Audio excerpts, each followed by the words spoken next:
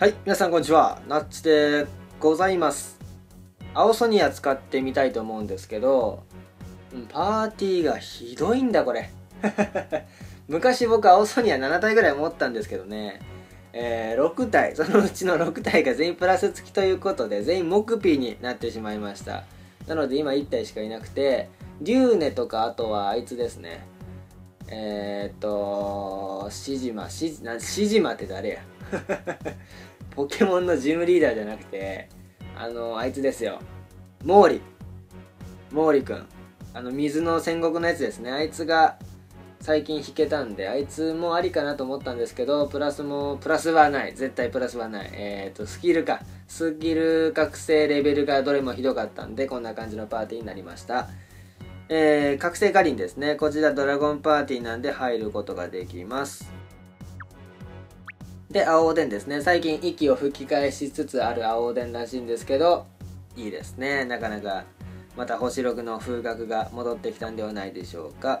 で、ネプチューンドラゴンですね。と、こちら入れ入れる意味ないかなと思ったんですが、列4個プラス毒ということで、玉ドラ倒す時に頑張ってもらいたいと思います。で、サダルメリク。もうこいつとこいつはセットなんでね、僕の中で。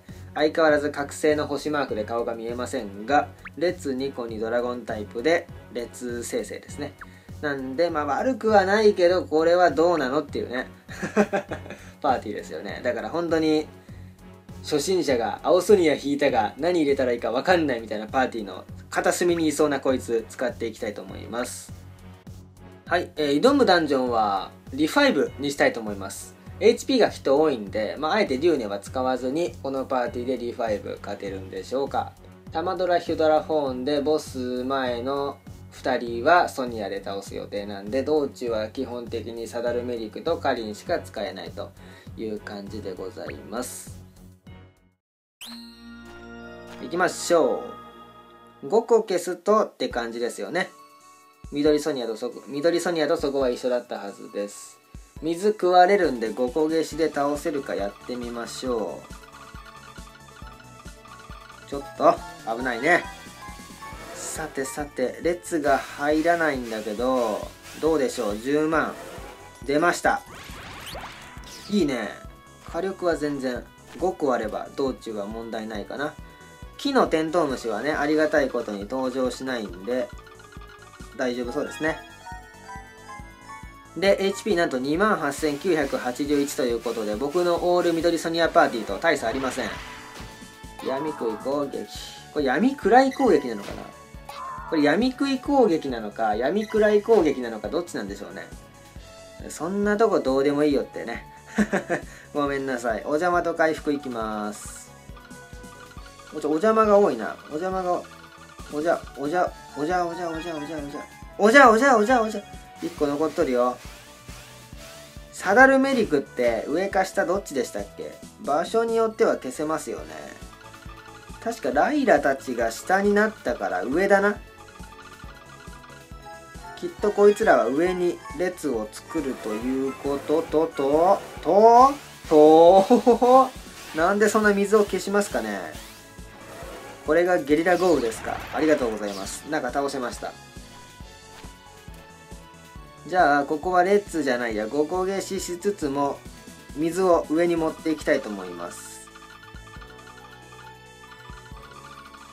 ここだね。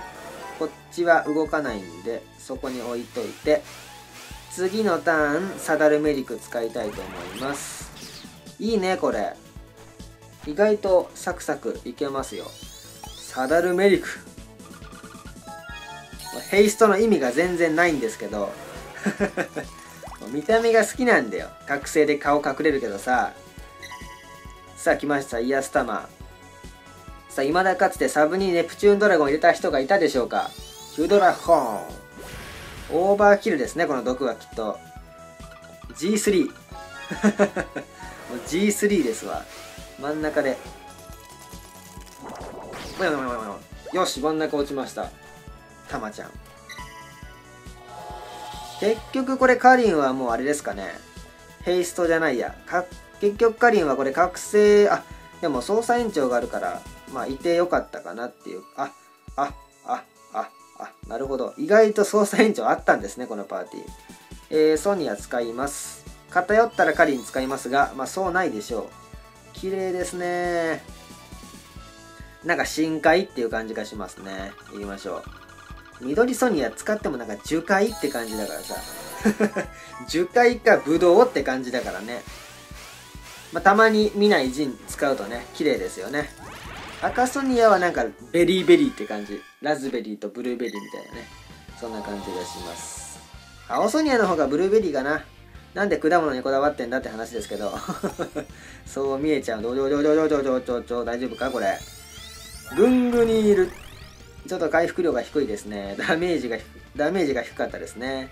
えー、列組んで上で囲う。はい。手抜きですが大丈夫でしょうか？ドロップ強化しか入ってません。エンハンスがありません。倒せるんでしょうか？倒せましたね。だから何っていう動画なんですけど。うん。強いよ。強いっていうかやっぱ何がいいかって緑ソニアと違ってサブのね選択肢が広い。本当に。オーストラリア大陸ぐらい広いです。それに比べて緑ソニアはね小笠原諸島ぐらいしかないんでこの差ね。この差がねでかいんですよ。